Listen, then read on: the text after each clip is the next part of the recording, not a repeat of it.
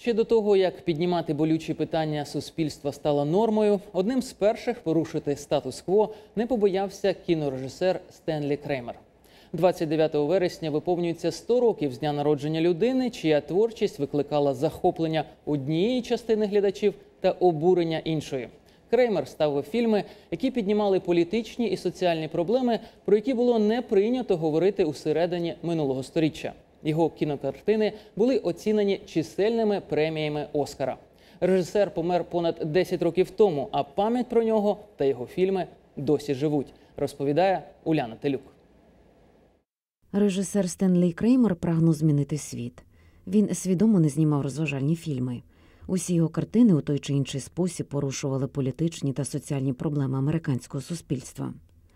Дружина Стенлі Кірен згадує прем'єру стрічки Вгадай, хто прийде на обід, яка вийшла на екрани у 1967 році. Черга розтяглася на 15 кварталів. У фільмі розповідається про історію міжрасового подружжя, складна тема для Америки 60-х років. Стенлі я отримували багато ненависницьких листів.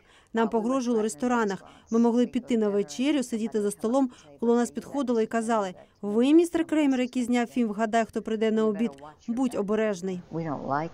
Ян Кристофер Гурак, директор кіно і телеархіву в Південно-Каліфорнійському університеті, пояснює, чим ризикував у той час Стенлі. Коли цей фільм з'явився у прокаті, у деяких штатах все ще існували закони, які криміналізували міжрасові шлюби. Сидні Пуатє знявся у цьому фільмі. Він прийшов на відзначення столітнього ювілею з дня народження Креймера. Це була чудова людина. Він також один з найдивовижніших режисерів в Америці. У нас ніколи не було з ним непорозумінь. Завжди лише вчилися один у одного.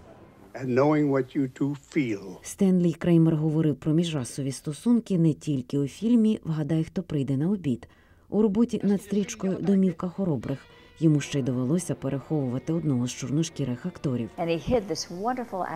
Стенлі таємно возив у своїй машині на роботу актора Джеймса Едвардса. Стенлі Креймер не боявся ставити у своїх фільмах серйозні моральні запитання про війну, про політику.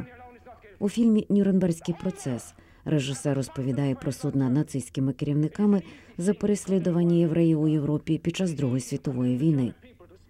У цей час в Америці тема Голокосту широко не обговорювалася, і фільм став шоком для багатьох.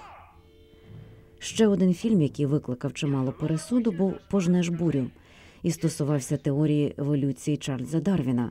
Герой стрічки вчитель біології у штаті Кентукі, якого звільнили з роботи, а потім засудили за викладання еволюції.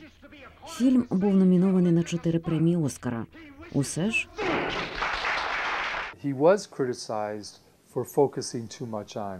Стенлі критикували за те, що він зосередився на очевидних фактах, що він приділив цьому надто багато уваги замість того, щоб знімати фільм, і тому стрічка втратила свою важливість.